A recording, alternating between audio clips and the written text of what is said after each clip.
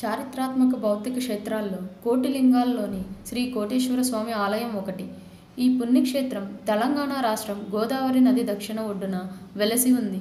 ఈ ప్రాంతాన్ని శాతవాహనుల తొలి రాజధానిగా చరిత్రకారులు చెబుతారు.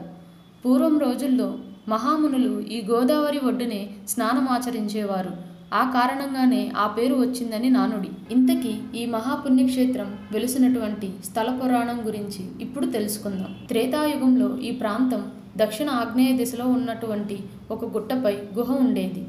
ఆ గుహ నుంచి ఐదుగురు మహామునీశ్వరులు ప్రతిరోజు గోదావరిలో స్నానం ఆచరించేవారు. అనంతరం గోదావరి జలాలను గుహపైకి తీసుకువెళ్ళేవారు. అలా రోజులు గడుస్తున్న సమయంలో ఆ ఐదుగురు మహామునీశ్వరులకు ఒక ఆలోచన వచ్చింది. నిత్యం శివపూజ కార్యక్రమాలు నిర్వహించుకునేందుకు ఇక్కడే ఒక శివలింగాన్ని ప్రతిష్ఠించుకోవాలన్న ఆలోచన వారికి కలుగుతుంది. అదే జరిగితే నిత్యం శివపూజలో లీనమయ్యేందుకు ఆస్కారం ఉంటుందని మహామునీశ్వరులు భావిస్తారు. వారు తలంపును విన్న ఆంజనేయ స్వామి వెంటనే ప్రత్యక్షమయ్యి మహామునీశ్వరులారా మీ కోరిక ఏమిటని అడుగుతాడు. అప్పుడు ఆ ఐదుగురు ఋషులు మేము ఇక్కడ శివలింగాన్ని ప్రతిష్ఠింప చేయాలని నిర్ణయించాం. కనుక మేము నిశ్చయించిన ముహూర్తమునకు నువ్వు కాశీనగరం నుంచి శివలింగాన్ని తీసుకురావాలని ఆంజనేయ స్వామితో చెబుతారు.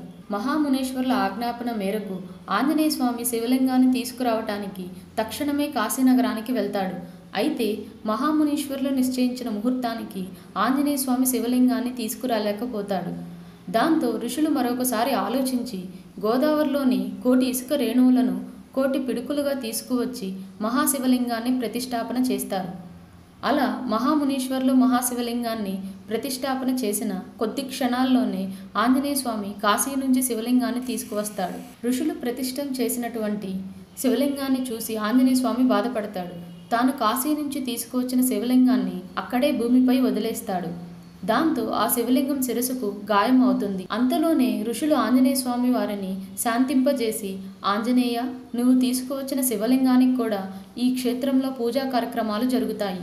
ఈ పుణ్యక్షేత్రాన్ని దర్శించిన భక్తులు పూజలు మొదటిగా నువ్వు తీసుకొచ్చినటువంటి శివలింగానికే జరుగుతాయి.